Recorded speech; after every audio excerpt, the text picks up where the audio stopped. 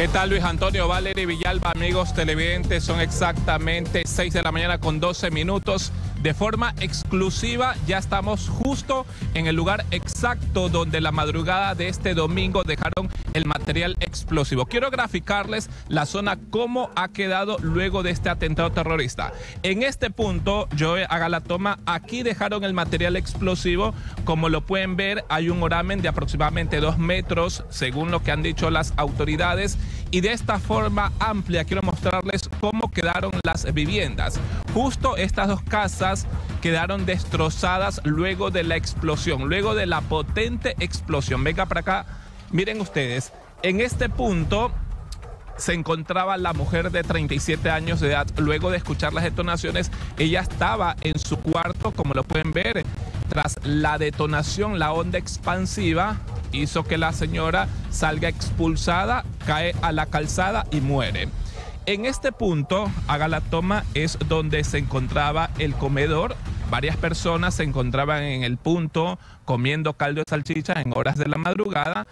Luego de la detonación se ve ya por completo la destrucción, ¿verdad? Son estas dos casas principales donde las paredes quedaron prácticamente destruidas. La casa que está a un costado, miren cómo quedaron los techos. Ya a esta hora ya han pasado cerca de una semana, los cables han sido cambiados por parte de CENEL y también de la empresa de telefonía, porque incluso los cables quedaron colgados. La onda expansiva incluso llegó hasta la parte de al frente. Como lo pueden ver, hay algunas casas que ya han sido arregladas. Miren ustedes, venga para acá, cómo quedó incluso esta puerta. Llama la atención que incluso en esta puerta hay orificios, serían de proyectiles propinados como el material aparentemente estaba en un tanque de gas, en un cilindro de gas, el material del, cilindro también traspasó, miren, estas puertas. Hay también daños en las casas al frente, miren ustedes cómo están. Las paredes, las ventanas, hay destrucción total. Acá hay incluso ciudadanos que están habitando. Si usted hace la toma, miren ese orificio en la ventana, que es de cemento. En la parte al frente, haga la toma, por favor, Joe. Hay también orificios. Esto se podría decir que aparentemente serían de eh, proyectiles que fueron propinados por parte de estos sujetos. Si seguimos caminando, también hay destrucción en otras viviendas. Recordemos que son ocho casas que resultaron afectadas. Ya los vehículos que se encontraban acá estacionados ya no están. Recuerdan ustedes que eran tres vehículos con dos motocicletas.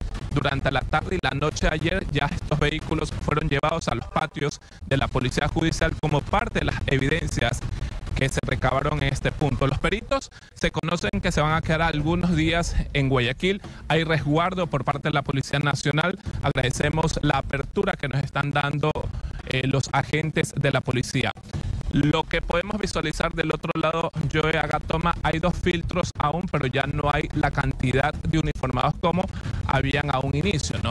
Recordemos que ya este domingo se cumple una semana del ataque terrorista registrado acá en la calle 8. Estamos justamente en la zona cero. De forma exclusiva estamos mostrando la magnitud del destrozo. Miren ustedes, son dos casas prácticamente destruidas. En esta casa la señora se encontraba asomada en el balcón porque recordemos que ella primero escuchó unas detonaciones porque los individuos dejaron en este punto, venga yo para acá, en este punto dejaron el saco con el material explosivo. Como lo pueden ver hay un oramen grande, se habla de dos metros de profundidad, ya a esta hora hay material de las casas destruidas, por eso se ve tapado la señora estaba ahí justamente en el balcón. Tras escuchar las detonaciones, se asoma, el balcón sale volando, las paredes salen voladas, ella sale expulsada a varios metros y cae en la calzada y murió. Su hijo de 7 años que estaba en la parte interna también resultó herido y su madre, que es una adulta mayor, también resultó herida. Es el panorama a esta hora, hoy viernes. Miren ustedes cómo quedaron las paredes. Venga para acá. Joe, están cuarteadas. Estas casas no pueden ser habitadas porque miren cómo quedaron. Esto por la magnitud de la onda expansiva.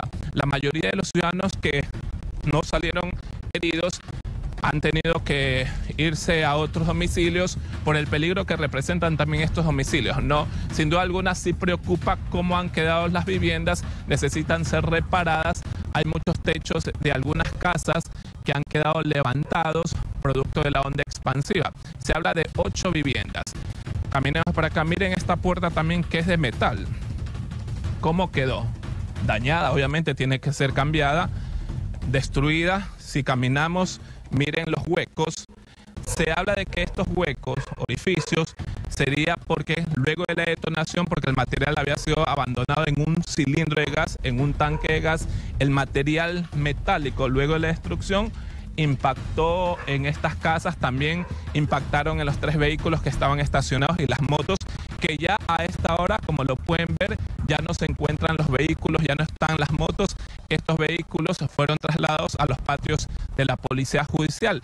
Luego de que los peritos llegaran a este punto, levantaran todos los indicios necesarios, material de pronto que se pudo recabar, el material que se utilizó para el ataque terrorista en este punto.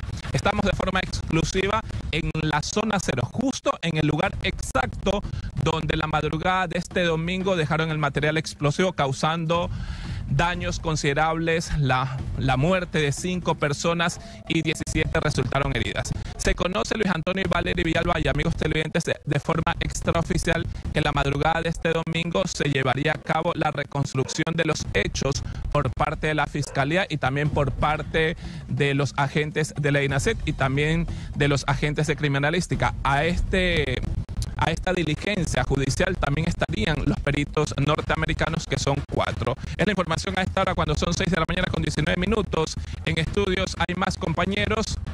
Siguen ustedes.